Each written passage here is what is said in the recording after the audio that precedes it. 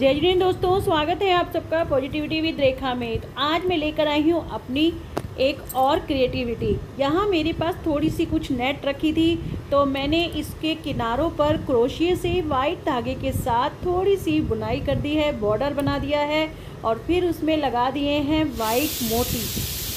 जगह जगह स्पेस छोड़कर छोटे छोटे मोती ट्रांसपेरेंट शाइनिंग वाले।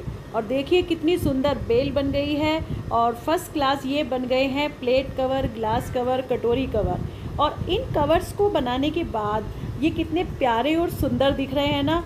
कुछ ज़्यादा खर्चा भी नहीं हुआ है, लेकिन कितने बढ़िया बने हैं. हम इन्हें कहीं भी, कैसे भी यूज़ कर सकते हैं. पानी से भरे ग्लास के ऊपर ढक सकते हैं फलों के ऊपर भी इनका यूज़ है। देखिए, यहाँ मेरे पास प्लेट में आम रखे थे। मैंने इसके ऊपर अच्छे से ढक दिया है ताकि कोई मच्छर या मक्खी फलों पर ना बैठ पाए। देखिए, इसी तरह खरबूजे पर भी मैंने एक कवर को अच्छे से ढक दिया है। तो इन कवर का बहुत फ़ायदा रहता है। हवा भी लगती रहती है। फ्रूट्स या वेजिटेबल्स ख़राब भी नहीं होते और देखने में भी सुंदर